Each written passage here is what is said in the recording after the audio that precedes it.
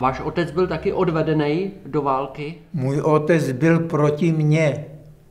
Byl v některých místech, kde jsem byl i já.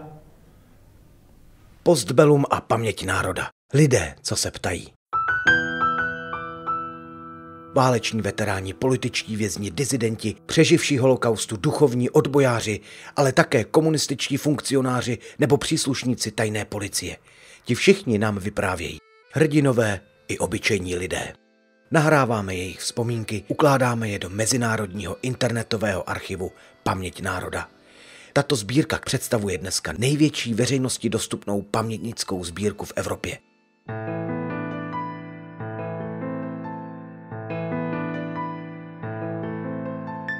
Příběhy, které jsme se sbírali, mohou inspirovat dnešní společnost, hlavně mladou generaci, takže se stále učíme, jakým způsobem životní osudy pamětníků vyprávět. Už sedm let vysíláme příběhy 20. století, jeden z nejpopulárnějších dokumentárních seriálů Českého rozhlasu.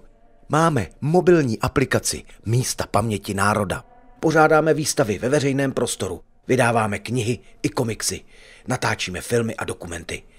Stovky žáků z desítek základních škol učíme naší práci v projektech, jako jsou příběhy našich sousedů. Každý rok udělujeme v přímém televizním přenosu ceny paměti národa. Jaká byla paměť národa a postbelum loni v roce 2014?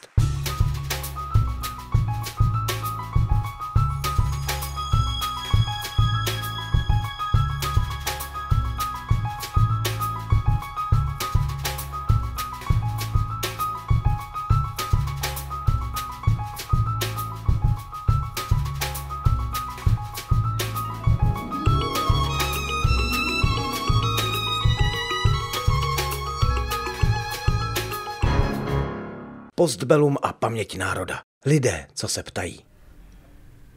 Jakou máte vzpomínku na únor 48, na ty únorové události?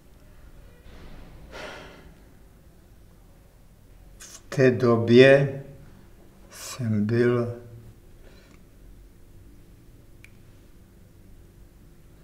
dozorce vězňů.